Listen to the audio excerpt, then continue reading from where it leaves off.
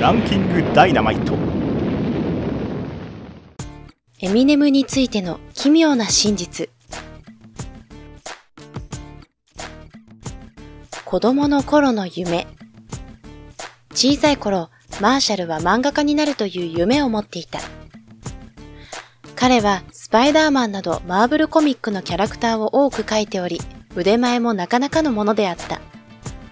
エミネムの漫画への興味は今も続いており最近のミュージックビデオでも漫画のキャラクターが登場しているついにエミネムはアイアンマンと共にマーブルコミックに載ったのであった。いじめられっ子。この事実はとても悲しいものだ。エミネムは小さな頃、一週間意識不明になったことがある。彼がまだ9歳だった頃、クラスメートから壮絶ないじめに遭い、殴られ、意識不明となったのである。また、エミネムは脳障害という曲の中で、いじめたクラスメートがディエンジョロ・ベイリーという名前だったと公表した。これに対し、ベイリーは後に名誉毀損だとしてエミネムを1億ドルで訴えたが、エミネムが勝訴。その後にベイリー自身もラッパーとして活動を始めたのだが、今は掃除屋として働いている。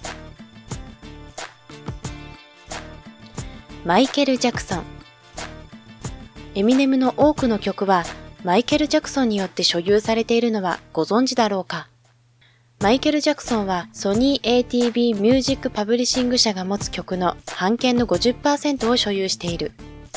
この版権の中にはエミネムのスリム・シェイディなども含まれている。つまり、マイケル・ジャクソンの元にはエミネムの曲が生み出した利益の半分が入るということだ。マイケルが他界した後も利益はマイケルの遺産管理財団へ入ることになっている。エミネムがマイケル・ジャクソンを小馬鹿にしたような格好をしたのも理解できる。ミッキー。エミネムの子供の頃のニックネームはミッキーだった。なぜなら顔に対して耳が大きかったからだ。しかし彼の自伝映画エイトマイルではラビットというあだ名で呼ばれている。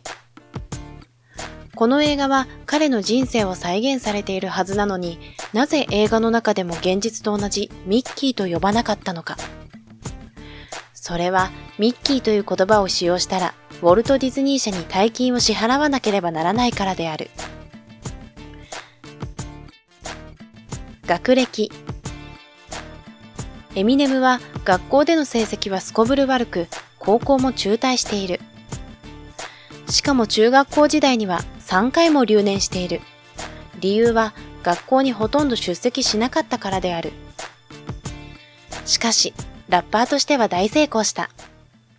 アルバムセールスは1億枚を超え、史上最も売れたラッパーとなったのだ。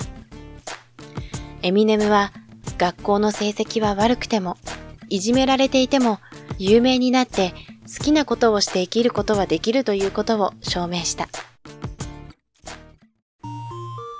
ご視聴ありがとうございました。